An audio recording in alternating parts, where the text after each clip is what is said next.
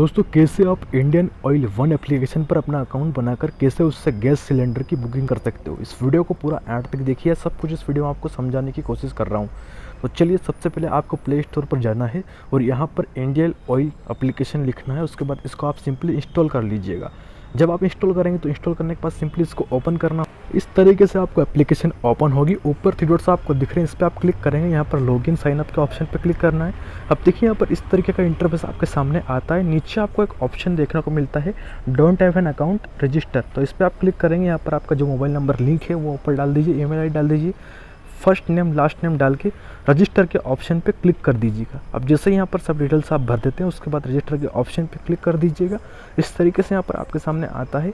अब देखिए यहाँ पर इंटर और यहाँ पर ये बोल रहा है इंटर न्यू पासवर्ड तो आपको एक पासवर्ड सेट कर लाना, कर लेना है स्ट्रॉन्ग सा, उसके बाद वही पासवर्ड नीचे कन्फर्म करके डालना होगा। तो पासवर्ड आपको ऐसा डालना है जो कि एक कैपिटल में डाल दीजिए और एक डिजिट डाल दीजिए और एक यूनिक लेटर आप डाल दीजिए। इस तरीके से मैं आपको यहाँ पर बता देता हूँ। ठीक है। एग्ज़ाम्पल मैं आपको यहाँ पर साइड में बता रहा हूँ। इस तरीके से डाल के ओके कर देंगे। तो आपका जो पासवर्ड है यहाँ पर सेट हो जाएगा। उसके बाद देखिए इस तरीके का इंटरफेस आपके सामने आता है। तो आपको यहाँ पर मोबाइल नंबर डालना है और यहाँ पर जो पासवर्ड आपने सेट किया वो डाल के लॉगिन नाउ के ऑप्शन पर क्लिक कर दीजिएगा। तो आपका जो अकाउंट है इंडियन एप्लीकेशन पर सक्सेसफुली बन जाएगा। अब देखिए ऑथेंटिकेशन हो रहा है ये। अब देखिए इस तरीके का इंटरफेस आपके सामने आता है। थोड़ा सा वेट यहाँ पर कर लीजिएगा। आपका जो लॉगिन है, वो हो चुका है। आपको सिंपली ऊपर इनरोल नाउ के ऑप्शन पे क्लिक करके आप एक्स्ट्रा रिवार्ड जो कार्ड है, उसको एक्टिवेट कर सकते हो।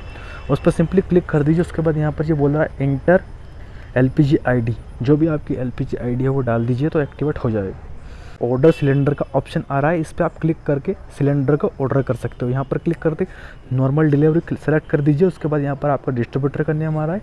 एलपीजी रिफिल किलोग्राम से में आ रहा है, उसके बाद यहाँ पर प्राइस आ रही है, उसके बाद नीचे आप स्क्रॉल करेंगे जैसे ही तो यहाँ पर देखिए आपका एड्रेस भी आएगा कि शिपिंग एड्रेस आपका शिपिंग एड्रेस यहाँ पर नीचे दिखा रहा है। उसके बाद सिंपली आपको यहाँ पर ऑर्डर नाउ के ऑप्शन पे आप जब क्लिक करेंगे तो आपकी रिक्वेस्ट इंडियन ऑयल के पास जाएगी और आपका डिस्ट्रीब्यूटर जो है, आपके एड्रेस पर इसको डिलीवर कर दे। दोस्तों, ये वीडियो अगर आपको हेल्पफुल लगा हो तो शेयर कर दिए सभी दोस्तों के साथ में, ताकि उनकी जो प्रॉब्लम है सॉल्व हो सके और चैनल को सब्सक्राइब कर लीजिएगा।